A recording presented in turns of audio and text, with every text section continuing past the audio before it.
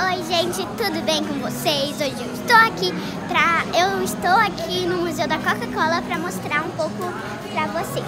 Gente, eu entrei aqui numa sala que tem um monte de tipos de refrigerante da Coca-Cola, um monte. E daí é dividido em, é, em continentes. Conta que pode provar. Gente, aquelas maquininhas de provar? Então, é, dá pra provar tudo. E é muito legal. Deixe o seu like, go, aplique em gostei e, e ative o sininho das notificações para não perder nenhum vídeo novo. Tchau, tchau!